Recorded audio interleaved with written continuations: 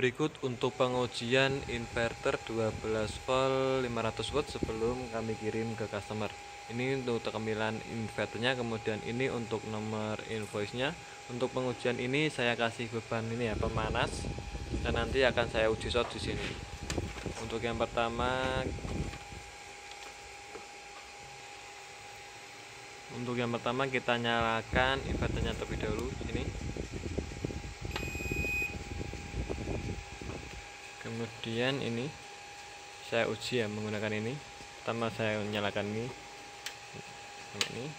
Dia di sini kebaca 370 lebih ini ya. Kemudian ini saya matikan saya rubah di sini. Di sini dia kebaca 400 berapa ini? 490 lebih ini ya. Hampir 500 kemudian di sini saya matikan saya rubah di sini. Di sini dia ke, udah lebih dari 500 ini ya udah lebih dari 500 di sini kemudian dia posisi mati karena dia udah kelebihan beban. Kemudian di kode nya di LCD ini ada kode E12 dia menandakan ada kelebihan beban. Kemudian dia posisi mati nanti setelah berapa detik dia akan hidup kembali. Yang selanjutnya akan saya uji shot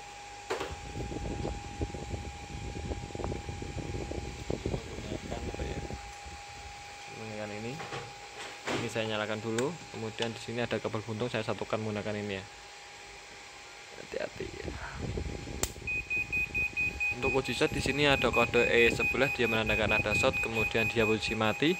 Bayarnya berbunyi nanti setelah berapa detik dia akan hidup kembali.